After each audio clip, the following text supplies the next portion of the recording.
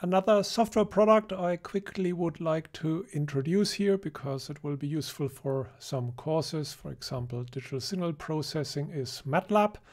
MATLAB or Matrix Laboratory originally is a technical computing language. It's a language specifically for people who do experiments with numerical mathematics.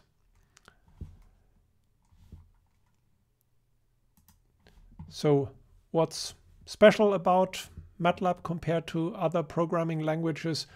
It's a high level language, so you don't have to worry about memory management. It has a garbage collector, it has variable length data structure, it has a very simple type system. The main data type are uh, two or three dimensional uh, floating point matrices. The main numeric type is a 64-bit floating point number. So whenever you type something, even a single number is treated as a one by one matrix. So you don't really have to worry much about the type system. You can just write down mathematical expressions as you might uh, think of them. And there is a lot of very high level mathematical operators available. So you can um, multiply matrices, add matrices up. It's quite rarely necessary in MATLAB to actually write out a loop because many of the loops that you would encounter in common linear algebra operations are already available to you as part of the operators. MATLAB was originally a interpreted programming language. It still feels like an interpreter. Um, you don't have to go through a, a compiler step, but uh, recent MATLAB versions, there's actually a, a Java just-in-time uh, compiler, a JVM compiler running under the hood. MATLAB itself is not a high-performance programming language, but it uh, implements many of the mathematical operations that it offers, um, linear algebra operations like inverting a matrix or um, calculating a fast Fourier transform using highly optimized uh, Fortran or C libraries that work under the hood and that are uh, carefully tuned to the capability of the available computer architecture. Um, the syntax of MATLAB is relatively simple, maybe a little bit inspired by some elements of the basic programming language with some elements from C. It comes with a graphical uh, user environment, so it's quite easy to get into it. Um, what makes MATLAB in particular for university education use attractive is that um, it allows students to focus very much on the application algorithm without having to do a lot of the bureaucracy involved with input and output. So there are built-in visualization tools, function plotting, and so on is all readily available in a single line um, there's a lot of data I.O. facility available. So for example, if you want to read an audio file, there's an audio read command. Uh, you just provide the file name and the result is available as a vector, a 1 by n matrix of floating point numbers. If you want to read a photo in, there's a um, image reading uh, function available and you get the same data type out, a two-dimensional array of floating point numbers if it's a grayscale photo or a three-dimensional uh, matrix uh, with a red, green, blue layer if it was a color image. So you don't have to bother much with getting your data in and getting your data out.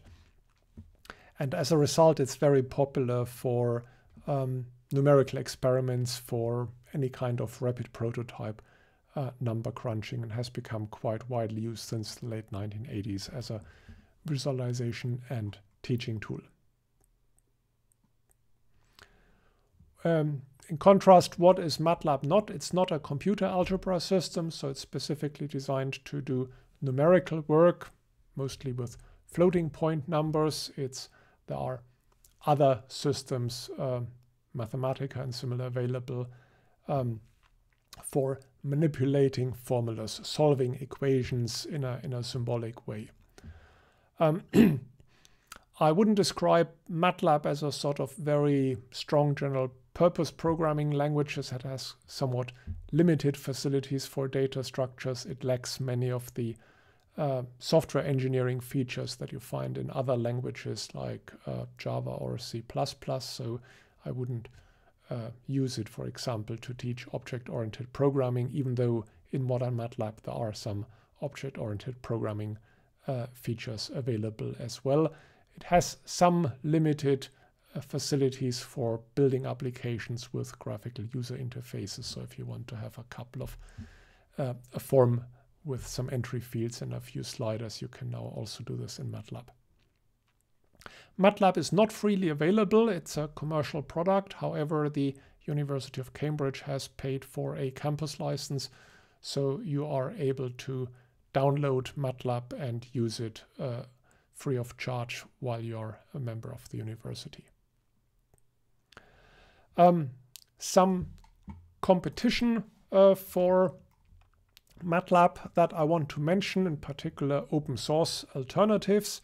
If you don't want to get involved with a commercial product unnecessarily, there are now a number of quite attractive alternatives available.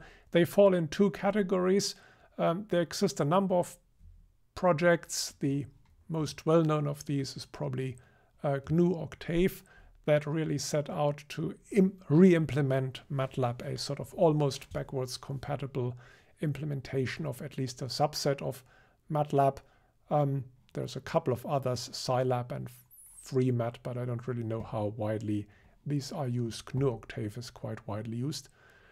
There also exist a number of other languages that operate in the same domain, high level interpreted or interpreter like languages uh, with strong plotting functionality, with data types, numeric high level data types, matrices, vectors that are inspired by uh, what MATLAB can do. The first of these is the R programming language. That's a sort of open source reimplementation of an earlier language called S that was developed for statistics application at AT&T Labs. And R is really very much focused on statistical applications. It has data frame uh, data types, which are not just matrices, but you can annotate matrix rows and columns with metadata. And then there's a huge number of um, statistics, but also some signal processing uh, packages and, uh, and excellent plotting facilities available. So R is a very common workhorse of the entire trade that calls itself a data scientist at the moment. Then there's the Python programming language, which is a general purpose interpreted scripting language, not particularly fast like R, more than an order of magnitude slower than compiled languages like C or Fortran. Um, but Python originally was not designed for numerical applications, but then came along an extension to Python called NumPy that adds a library that adds to Python MATLAB-like uh, matrix and vector uh, data types and also packages up all these uh, fast linear algebra libraries such as BLAS or LAPACK. Um, that was one package that got MATLAB into the same domain as uh, that got Python in the same domain as MATLAB. Then someone wrote uh, matplotlib, which is a plotting library for Python that's clearly very closely inspired by the MATLAB plot command. And once the foundation of these two packages was laid, um, other people came along, and there's a large project called SciPy that implements a lot of scientific computing algorithms, all kinds of approximation systems or signal processing, digital filters, and so on. Um, so that has become a quite serious, SciPy has become a quite serious competition for many of the MATLAB toolboxes. There's also a quite popular package called Pandas that provides many of the data analysis facilities that um, have made the, the R language quite popular. The third of the MATLAB inspired but not uh, MATLAB compatible languages. The new kid on the block, in a sense, is Julia, the youngest of the three, came out of the Massachusetts Institute of Technology uh, starting around 2012. Um, written by people who got a little bit fed up with some aspects of MATLAB, but generally liked the concept. So the Julia syntax is to some degree inspired by MATLAB. In particular, the, the matrix notation is uh, quite similar. Julia is a compiled programming language. Unlike uh, R and Python, it sits in, it's a front end for the LLVM compiler suite. So you get, you're able to write in Julia a program that's practically as efficient as C, C++, Fortran code. At the same time, it has an interactive read, evaluate, print loop, uh, more similar to uh, Python. So it can be interactively used like Python, but it compiles uh, underneath into C-like code. It has a flexible type system um, which you can either use in a dynamic fashion where you don't specify or don't care what type a variable has. You just assign a value to a variable and the vari variable is happy to take any type that you assign to it. But if you are a little bit careful with how you use the types, then the compiler is able to optimize much more, and that's sort of a prerequisite um, for C-like performance. So there's a sort of dynamic and a static uh, type system programming style available in uh, Julia. Um, one particular feature of Julia is known as multiple dispatch, where which particular incarnation of a function is chosen is based not only is dynamically based not only like an object pro oriented programming languages based on the type of the object for which you call a method where you have an object dot and then a method called for the object. Um, Julia does not use this dot notation. It uses function name parentheses and then the different arguments. And in, in contrast to other programming language, Julia can dynamically dispatch on all the arguments. That's quite useful, for example, for binary data types like uh, multiplication of two objects, where which type of multiplication you want to use really depends on both the first and the second argument of the multiplication. Because Julia comes out of MIT, it also has many features that the Lisp programming language that also came out of MIT is famous for. For example, uh, Julia is quite well suited for meta programming for self-modifying code. There is a uh, the the macro language of uh, Julia is the Julia language itself, so you can decide for each uh, Julia function whether it's a function that gets called at at runtime or whether it's a macro that gets executed at compiler time and that receives as its input the abstract syntax tree of its argument rather than the values. And there are a couple of other languages in the same space. Some worth mentioning are probably Scilua. There's the Lua language, which is a small embedded language that was originally designed to be included as a control language into other tools. And then people wrote a efficient compiler called LuaJIT, and then people wrote added MATLAB-like um, numerics facilities, and that became Scilua, which has become popular in some corners of the machine learning world in particular. And a couple of other attempts, so the Perl programming language, sort of a slightly older competitor for Python, also has now a Perl data language the OCaml language that you know from your first year also has a numerics extension called OWL. None of these languages um, come with a built-in graphical user environment like MATLAB does. Uh, however, there are plenty of general purpose graphical user environments available that also support all of these languages. One in particular worth mentioning is uh, Jupyter, previously known as IPython because it came out of the Python world. But then when other such languages came along, it was renamed into Jupyter, which was inspired by Julia, Python, and R being some of the first languages, but there are uh, several dozen other languages that it now supports. And it's a graphical user environment that runs inside a web browser with a server backend that actually runs a Python, R, Julia, or so on uh, language system.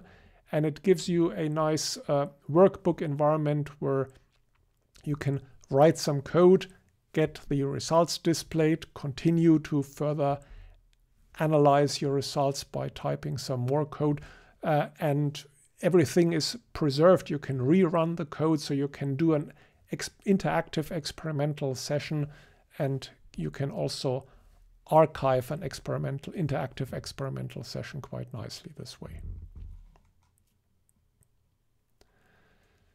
So how do you get um, access to MATLAB? Um, it's readily installed in the computer laboratory, in the Intel lab, on the MCS Windows machines, uh, both under MCS Windows as well as under MCS Linux. Um, there are two remote login servers that you have access to, either the university-wide one linux.dscamacac, which you can SSH into, or there is one specifically for students of the computer laboratory, uh, Linux CL.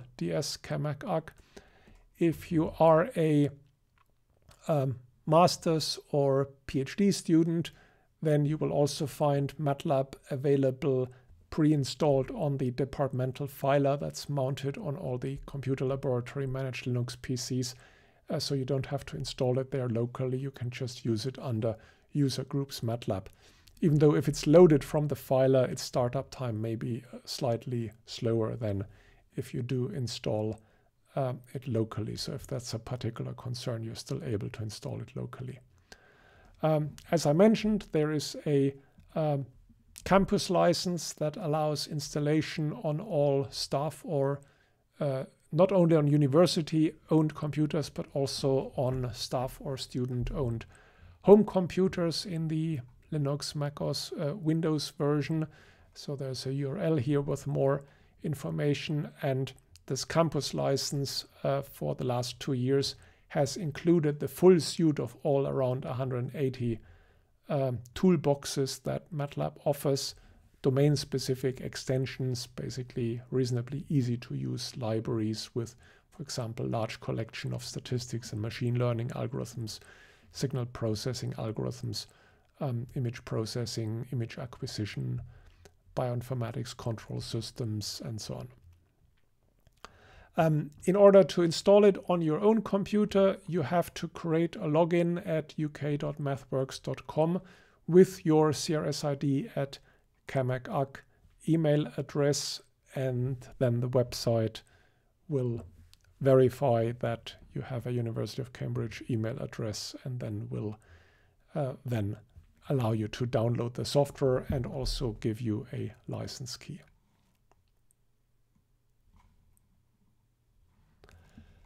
How do you get started with MATLAB? There is comprehensive built-in documentation, so you just type MATLAB on the command line.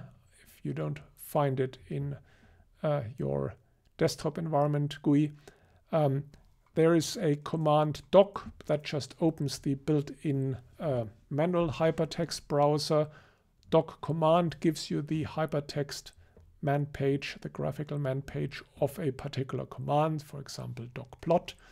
Uh, there's also a text-based shorter version of the manual built in. So if you just write help command, you get the plain text summary of the command, which is useful if you just quickly want to look up the most important parameters.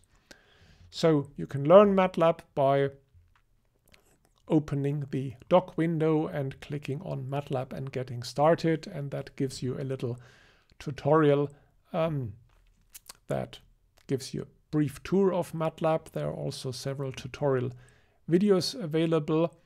And there is also the full documentation, not only built into the system, but available online such that um, search engines uh, are able to find that as well.